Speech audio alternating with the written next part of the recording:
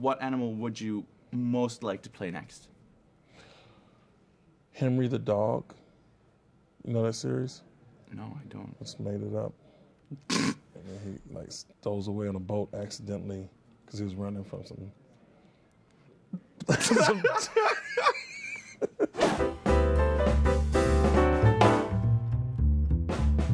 Hi, John. Thanks for taking the time to have a little chat with me about Dolittle. I have um, a few very specific um, squirrel-related questions for you. Okay. You are the bad guy. And there's no way around it. Hmm. And what, like, is there a part of you you feel that was already polar bear-ish? I certainly share a lot of traits with Yoshi, both a, a big and demanding physical presence, Right. but really just a big softy. Do you like playing the bad guy? Uh, I mean, it depends. It, it varies from you know different projects. The sort of story you're telling. Now, this kind of a story, you want the audience to be able to enjoy the the bad guyness of the Right. of the bad guy. How do you prepare for becoming a squirrel? Tell me a little bit about the ins and outs. I slept in the park for about three weeks. Uh, I played a lot of very dark characters. Um, you've just got to know what the tone is of it, you know, Right. and and and and be true to that. A lot of nuts. Lots of nuts that I stored away. Robert Downey Jr. said um, that he sees you as a better voice actor than himself. How does that make you feel? Like he is not telling the truth. Who do you think in the, in the cast of the entire movie is most likely to actually be able to speak to animals?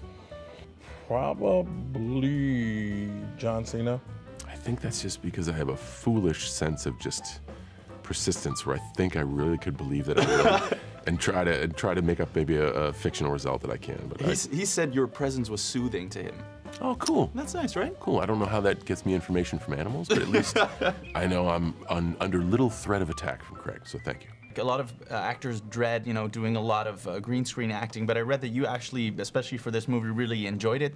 Could you tell me a little bit about well, that? I, it's sort of like being a child again. You know, it's a it's a kind of pure form of make believe. All acting is pretend. Right. Um, and uh, you know, to, to to sort of talk about it like it's real is nonsense. It's all we're making it all up. It's all pretend. Who do you think is actually most likely to be able to speak with animals in the Dolittle cast?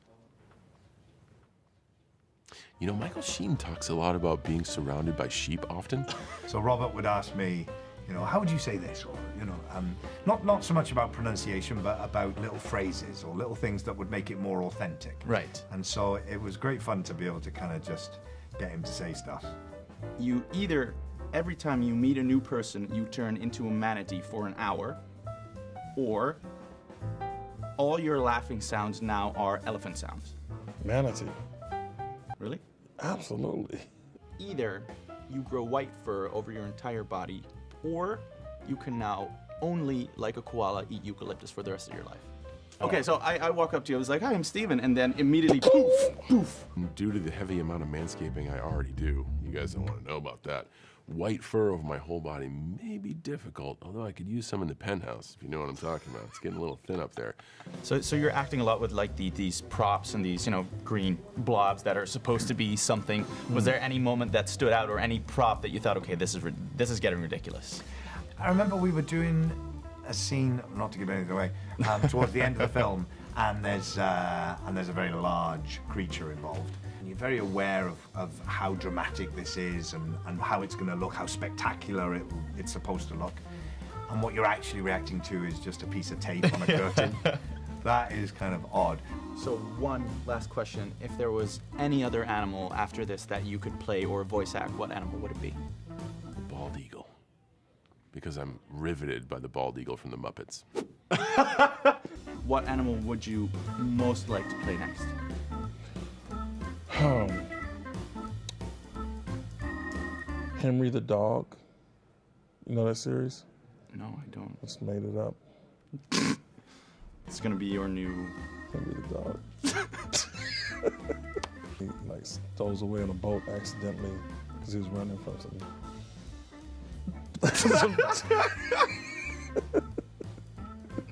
I'm out. Bye. All right, buddy. Pleasure, man.